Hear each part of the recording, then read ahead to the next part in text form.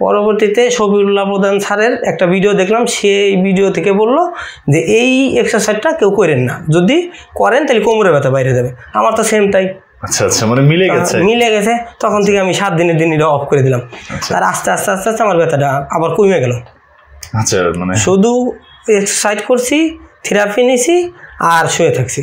কিন্তু এই শুয়ে থাকার কারণে আমার জিনিসটা আমার পাশে আরও রুগী আছে তাদের থেকে অনেক আগে আমি সুস্থ হয়ে গেছি। কিন্তু হেরা বেশি হাঁটাচলা করে আমি অতটা হাঁটাচলা করিনি ওই আচ্ছা, কথাটা আচ্ছা। শুনে মানে আপনার রোগ অনুযায়ী যেটা করা দরকার স্যার কিন্তু সেটাই সেটাই বলতে। আমি সেটা পালন করছি বিদায় আমি নিজেই ফলাফলটা চোখের সামনে দেখতে পেলাম। আচ্ছা একই দিন থেকে থেরাপি নিতেছে অথচ হ্যাঁ ভর্তি লিখছে পনেরো দিন আমার লিখছে একুশ দিন। একুশ দিন। অথচ হে এখনও ব্যথায় ভুগতেছে আর আমি সুস্থ।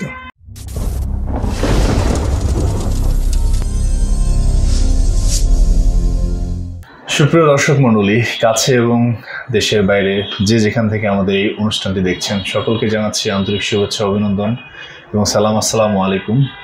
সকলে কেমন আছেন? দীর্ঘদিন ধরে আমরা এই প্রোগ্রামটি করে যাচ্ছি আমাদের ডিপিআরসি হসপিটালের পক্ষ থেকে। তো আমাদের যারা ভিউয়ার্স আছেন, সকলের উদ্দেশ্যে বলতে যাচ্ছি প্রতিদিনের ন্যায় আমরা আজকেও আমাদের একজন স্যারের সঙ্গে কথা বলব।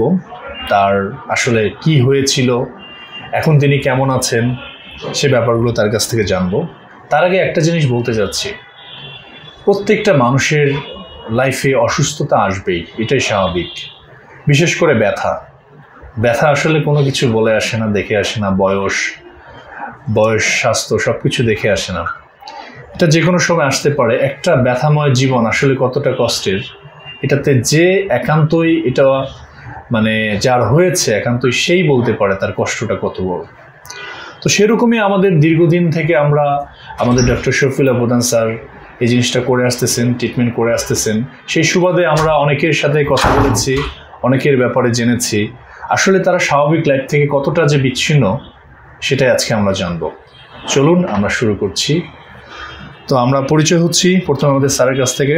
আসসালামু আলাইকুম স্যার। ওয়ালাইকুম সালাম। স্যার ভালো আছেন আপনি? আলহামদুলিল্লাহ। স্যার প্রথমে আপনার পরিচয়টা একটু জানতে চাচ্ছি আপনার নামটা যদি একটু বলেন। আমার নাম ইউনুস মোল্লা। আমাদের বাড়ি ফরিদপুর কোতোয়ালি থানা। আচ্ছা। তো আমি সেই জায়গা থেকে আসছি আপনাদের ভিডিও দেখে। আচ্ছা আচ্ছা। তো স্যার আমি জানতে চাচ্ছি যে আপনার বয়স মাত্র থার্টি টু বত্রিশ বছর বয়স। আসলে আপনি কি করতেন? আমার পেশা হলো আমি একজন ফার্নিচার মিস্ত্রি। মানে প্রোডাকশনে কাজ করি। প্রোডাকশনের কাজ। এই রেট দেওয়া থাকে আমাদের সেই অনুযায়ী কাজ করি আমি। এটা কি স্যার ভারী কাজ করতেন নাকি? হ্যাঁ হ্যাঁ, ভারী কাজ। ভারী কাজ। ভারী হালকা মানে সামনে ঝুঁকেই বেশি করতে হতো আচ্ছা আচ্ছা। সেখান থেকে আস্তে আস্তে। আচ্ছা আপনার যে সমস্যাটা হয়েছিল আমাদের শুরু থেকে যদি একটু বলতেন আর কি যে আপনার কবে থেকে আপনি ব্যথা অনুভব করছেন বা কি হচ্ছে? ঠিক আছে? আমার সমস্যাটা শুরু হয় আজ থেকে পাঁচ মাস আগে। জি। যখন আমি উঠতে যাই আর বসতে যাই তখন আমার পিছনে হালকা ব্যথা লাগে। তো তখন আমি একজন এমনি স্বাভাবিক মানে গ্রাম্য ডাক্তার। তার কাছে গেলাম সে আমার এক সপ্তাহের ওষুধ দিল খায় ভালো হয়ে গেল। কিন্তু যেদিন ওষুধ শেষ হইল পরের দিনে আমার ব্যথা আবার। আচ্ছা আচ্ছা। পরবর্তীতে আমি সেই ডাক্তারের কাছে আবার যাই যে স্যার এই ঘটনা। সে আমার ওই আর একটা ওষুধ ওটার সাথে যোগ করে তিন সপ্তাহ খাইতে বলে। আমি তিন সপ্তাহ খাওয়ার পর ওই একই রেজাল্ট ওষুধ শেষ হয়ে গেলে আবার ব্যথা জায়গাটা জায়গা আচ্ছা আচ্ছা। তো পরে ভাবলাম তাহলে বড় ডাক্তার দেখাতে হবে। আমাদের বাড়ি থেকে মাত্র মানে কাজ যে জায়গা করতাম সে জায়গা থেকে চলে আসলাম। কাজ বাদ দিয়ে। রেস্টে রইলাম আর আমাদের বাড়ি থেকে মাত্র পাঁচ মিনিট দূরত্বে একটা হসপিটাল আছে। সেখানে গেলাম। তাদের সাথে আলাপ করলাম তারা বলল হ্যাঁ আমাদের এনে ভালো ডাক্তার আছে। পরে তারে দেখাইলাম। তার পাঁচশো টাকা ভিজিট নিল। সে আমার দুইটা এক্স রে করল রক্ত পরীক্ষা করল প্রস্রাব পরীক্ষা করল। সব কিছু করার পরে সে বলল আপনি সাধারণ পিন।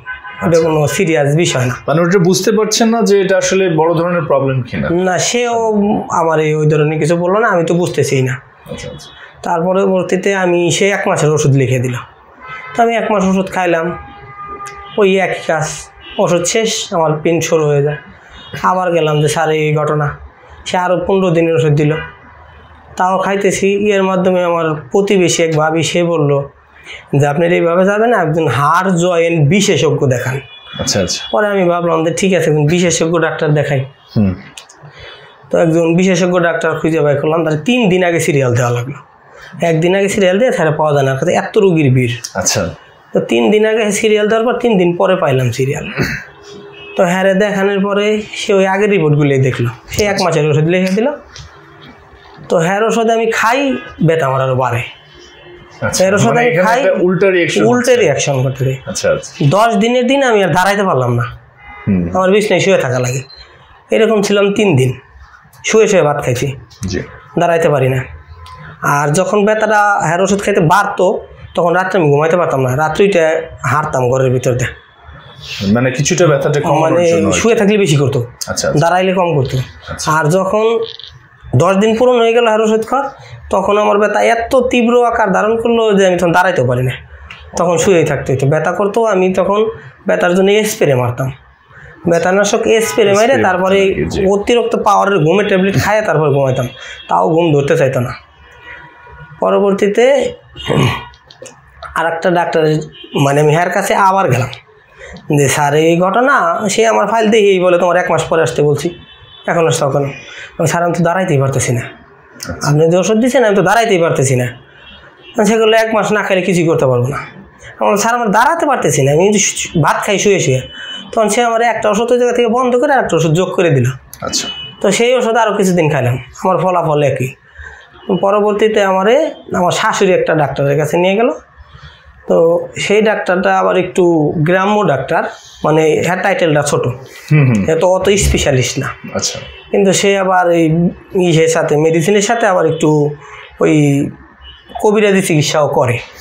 তো সে আমার একটু জাইরে টাইরে দিল এই করল। তো তার কাছ থেকে আমার ব্যথা করাটা থামলো। আচ্ছা। আর হ্যাঁ ওষুধ চলতে লাগল হে বলল তিন মাস ওষুধ খেতে হবে। হে একটা পরীক্ষা করল সেই পরীক্ষায় সে দেখল মানে আমার কোনো ইসে হাড় ফাটে নাই ক্ষয় যায় নাই। আর এই হয় নাই মানে হাড়ে কোনো প্রবলেম নেই। সামান্য ক্যালসিয়ামে কম আছে ক্যালসিয়াম ডি কম ছিল। তো সেই সেইগুলোর জন্য আর ব্যথানাশক কিছু ওষুধ দিল আর বলল তিন মাস খান। তিন মাস খাইলে ইনশাল্লাহ চলে যাবে। তো এক মাস খাইলাম ব্যথাটা করা থামলো। কিন্তু চাপ দিলে ব্যথা লাগে। আচ্ছা। চাপ দিলে ব্যথা লাগে। তো এক মাস পরে সে কিছু ওষুধ চেঞ্জ করল। চেঞ্জ করে আর একটু পাওয়ার বাড়াই দিল। এইভাবে আর এক মাস খেলাম তখন ওই একই পরিস্থিতি চাপ দিলে ব্যথা লাগে। তারপরে আমি আরও পনেরো দিন খেলাম তখন মানে ওই এক মাস পরে আবার ওষুধ চেঞ্জ করল। মানে এত দামি দামি ওষুধ এক এক এক এক পাতার ওষুধের দাম তিনশো টাকা। ও আচ্ছা। দেড়শো টাকার নিচে কোনো ওষুধ নেই। হুম হুম। দশটা ওষুধ দেড়শো টাকা এর নিচে কোনো ওষুধ নেই এত দামি দামি ওষুধ। তো তারপর আড়াই মাস আমি হেয়ার ওষুধ খাই। এর মধ্যে আমি ইউটিউবে মানে হ্যাঁ নাম জানি না কিন্তু হে একটা এক্সারসাইজ দেখায় দেয়। যেটা করলে এই এই পিনটা এই হবে এটা যদি ছায়াটিকা হয়ে থাকে। আচ্ছা আচ্ছা। তো আমি ওইটা কয়েকদিন করার পরে আবার ওই ডাক্তারে জিজ্ঞেস করলাম আর কি ছায়াটিকা হয়েছে সে না বলল না ছায়াটিকা না। তো তখন সেও আমার ভালো কোনো পরামর্শ দিল না। পরবর্তীতে ওই ডক্টরের ব্যথাটা ফোনে আপনি কথা বলছেন। না। ইউটিউবে যাকে ইউটিউবে যারে দেখছি। তার দেখে হলো আমি নিজে নিজে আচ্ছা করছি। এক্সারসাইজটা করার পর আমি যেই ডাক্তারের ওষুধ খাইতেছি ও আচ্ছা হ্যাঁ। এরে জানাইলাম। যে মানে যে রোগের উপসর্গ দেখায় আমার সাথে সেম মিলে যায়। আচ্ছা কোনো ডিফারেন্স নেই। এই জন্য আমি ডাক্তার জিজ্ঞেস করলাম আমার কি ছায়াটিকা হয়েছে? সে বলল না আমার ছায়াটিকা হয়নি। তো ওষুধ খাও ঠিক হয়ে যাবে না। তো আমি সাত দিন যখন ওই এক্সারসাইজটা পূরণ হলো তখন আমার মাজা পুরো লক হয়ে গেল। মাজা আমি কোনো দিকে লড়াইতে পারি না। পুরো ব্যথায় হয়ে গেল তারপরে আমি আবার সাবেক আপনার সেই ব্যথাটা ব্যথাটা পুরো পরিপূর্ণ মানে পায়ে কমলো কিন্তু কোমর ফুল ব্যথা হয়ে গেল। ওই ওই ভুল এক্সারসাইজটা করার কারণে। আচ্ছা আচ্ছা। পরবর্তীতে শফিউল্লাহ প্রধান স্যারের একটা ভিডিও দেখলাম সেই ভিডিও থেকে বলল যে এই এক্সারসাইজটা কেউ করেন না। যদি করেন তাহলে কোমরে ব্যথা বাইরে যাবে। আমার তো সেম তাই। আচ্ছা আচ্ছা মানে মিলে গেছে। মিলে গেছে তখন থেকে আমি সাত দিনের দিন এটা অফ করে দিলাম। আচ্ছা। আর আস্তে আস্তে আস্তে আস্তে আমার ব্যথাটা আবার কমে গেল। আর কোনো এক্সারসাইজ করি না তখন। পরবর্তীতে ওই আপনাদের ভিডিও দেখতেছি দেখতেছি আর ভালো লাগতেছে।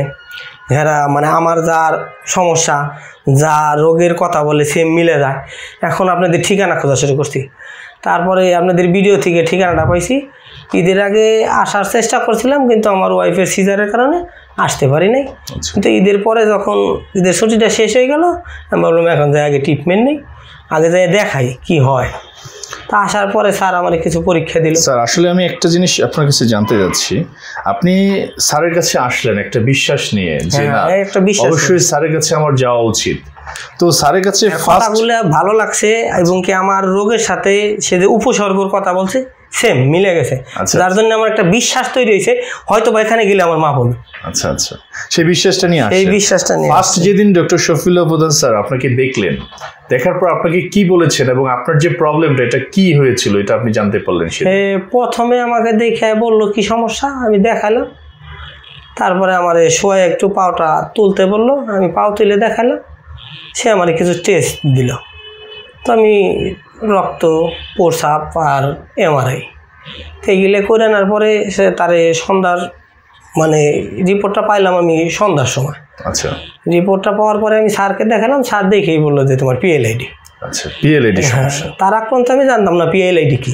ছায়াটিকা বুঝতাম কিন্তু পিএলআইডি বুঝতাম না। আচ্ছা আচ্ছা। তখন স্যার আমার কাছে নিয়ে একেবারে রিপোর্ট থেকে দেখাই দিল এই যে তোমার ডিস্কটা বেরিয়ে গেছে এবং কি ফেটে গেছে জেল তোমার এই নার্ভের উপরে চাপ লাগতেছে তাই তোমার এই ব্যথাটা। আমি বললাম তাহলে স্যার এখন কী করব? বলে ভর্তি হয়ে যাও। তাহলে এই অন্য কোথাও গেলে তারা অপারেশন করে আমি অপারেশনে যাই না।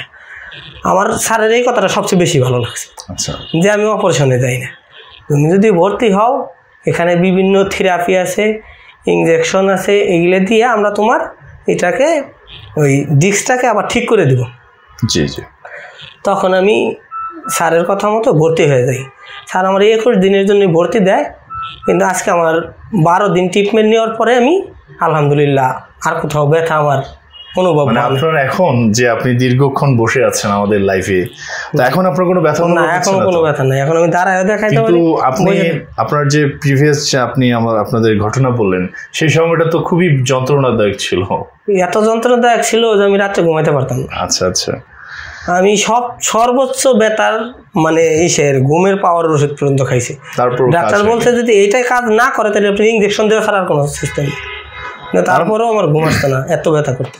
স্যার তাহলে আজকে বোঝা যাচ্ছে আপনি স্যার আপনাকে একটা আনুমানিক একটা বলেছে একুশ দিন যদি আপনি ভর্তি নেন ট্রিটমেন্ট নেন তাহলে আপনি মোটামুটি একটা সুস্থ হয়ে যাবেন। হ্যাঁ। কিন্তু আপনার একটা আত্মবিশ্বাস এবং স্যারের প্রচেষ্টা আজকে আপনি বারো দিনে আলহামদুলিল্লাহ আপনি মোটামুটি একদম ফুললি ভাবে হ্যাঁ। আজকে আপনি স্যার যখন আমার দ্বিতীয় দিন আমার রুমে দেখতে যায় তখন আমার রিপোর্টটা আবার দেখে। দেখে বলে তুমি চব্বিশ ঘণ্টা শুয়ে থাকবে। তোমার অবস্থা কিন্তু বেশি ভালো না। আচ্ছা আচ্ছা। তো ওই কথাটা শুনে আমি মনে মনে একটা ঘাবড়াইয়ে যাই। যে হাই আল্লাহ এত এত সমস্যা। পরবর্তীতে আমি স্যারের কথাটা মানে অক্ষর অক্ষরে পালন করি। আচ্ছা। আমি তারপরে থেকে মানে দশ দিনে হাসপাতালে নিচতলায় নেমে নেই। আচ্ছা মানে? শুধু এক্সারসাইজ করছি থেরাপি নিছি আর শুয়ে থাকছি। কিন্তু এই শুয়ে থাকার কারণেই আমার জিনিসটা আমার পাশে আরও রুগী আছে তাদের থেকে অনেক আগে আমি সুস্থ হয়ে গেছি। কিন্তু হেরা বেশি হাঁটাচলা করে আমি অতটা হাঁটাচলা করিনি ওই আচ্ছা, কথাটা আচ্ছা। শুনে মানে আপনার রোগ অনুযায়ী যেটা করা দরকার স্যার কিন্তু সেটাই আপনাকে বলতে আমার আমি সেটা পালন করছি বিদায় আমি নিজেই ফলাফলটা চোখের সামনে দেখতে পেলাম। আচ্ছা একই দিন থেকে থেরাপি নিতেছে অথচ হ্যাঁ ভর্তি লিখছে পনেরো দিন আমার লিখছে একুশ দিন। অথচ হে এখনও ব্যথায় ভুগতেছে আর আমি সুস্থ। যাক আলহামদুলিল্লাহ। সুপ্রিয় দর্শক মন্ডলী আমরা শুনলাম ইউনুস স্যারের কাছ থেকে আমরা তার মানে টোটালি আমরা যে একটা ব্যাকগ্রাউন্ড একটা গল্প। আসলে আমি কি বলব? যে প্রত্যেকটা ব্যথার পেশেন্টের কাছ থেকে আমরা যদি জানতে চাই টোটাল একটা তাদের একটা গল্প। গল্পটা কিন্তু সেম সকল ব্যথা রোগীদের গল্পটাই সেম তো আমাদের ইউনুস স্যার যে জিনিসটাই করেছেন, তিনি একটা সঠিক রোগটা জানার জন্য তার খুব দরকার ছিল। সেই বিশ্বাস নিয়ে তিনি আমাদের ডিপিআরসি হসপিটাল ডক্টর শফিলা প্রধান স্যারের কাছে এসেছেন। আসার পর স্যার তাকে যে ইনস্ট্রাকশন দিয়েছেন, তিনি জানতে পারেন তার আসলে রোগটা কি। এই পিএলআইডি রোগ ম্যাক্সিমাম পেশেন্টের হয়ে আছে। আমরা হয়তো বা জানি না। তো উনি যখন রোগটাকে জেনেছে, সেই অনুযায়ী স্যার যে ইনস্ট্রাকশন দিয়েছে উনি, সেটাকে কার্যকর রূপ দিয়েছে। তো আজকে তিনি সুস্থ হয়ে চলে যাচ্ছেন। সুপ্রিয় দর্শক মণ্ডলী, আমরা জানতে চাবো ইউনুস সাহেবের কাছে, প্রথম যেদিন তিনি এসেছিলেন এবং যে ভিডিওটা দেখে তাকে ইন্সপিরেশন মানে একটা উৎসাহ জুগিয়েছে, যে সাহস জুগিয়েছে, আজকে তিনি সেই প্ল্যাটফর্মে কিন্তু আছেন। আজকে তিনি আমাদের সঙ্গে তার অনুভূতি শেয়ার করছেন।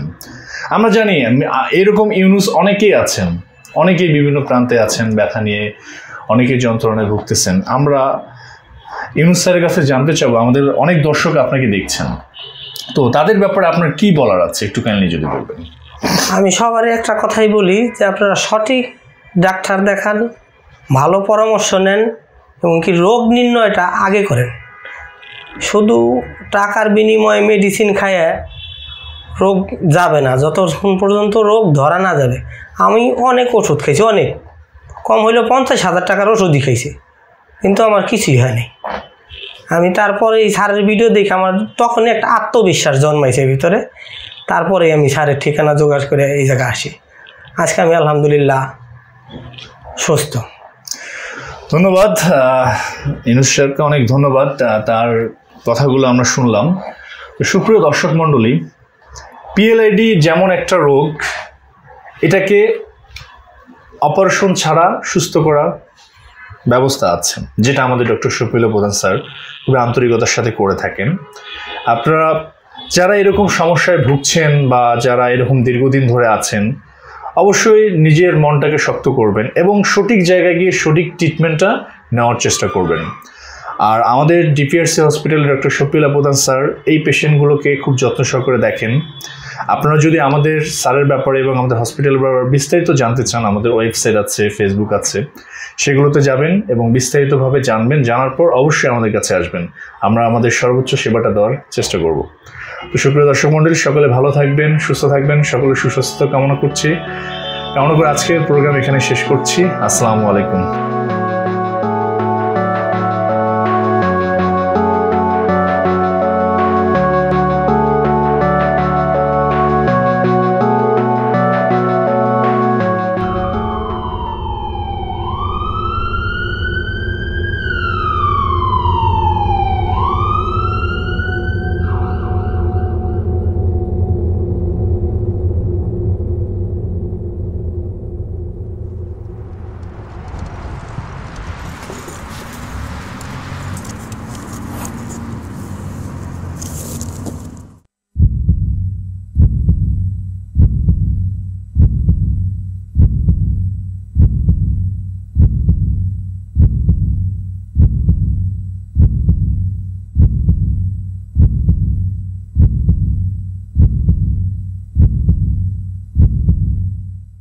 দীর্ঘজীবী হওয়ার প্রথম পদক্ষেপই হচ্ছে সুস্বাস্থ্য নিশ্চিত করা।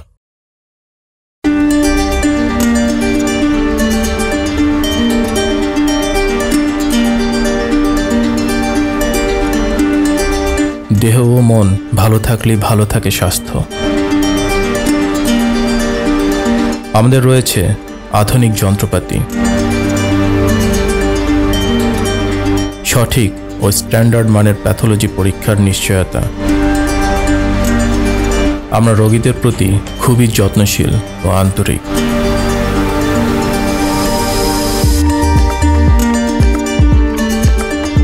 আমরা সর্বপ্রথম প্রতিটি রোগীর সঠিক রোগ নির্ণয় করি, এরপর রোগ অনুযায়ী অপারেশনবিহীন চিকিৎসা দিয়ে থাকি। আমাদের প্রতিটি ডক্টর, নার্স ও থেরাপিস্ট প্রশিক্ষণপ্রাপ্ত ও দক্ষ। আমরা প্যারালাইসিস রোগীদের নতুন করে চলতে শিখাই।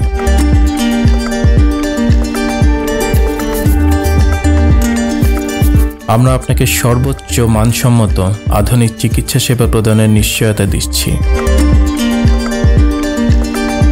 আমরা বিশ্বাস করি আপনি এখানে আপনার নিজ পরিবারের মতোই সেবা পাবেন।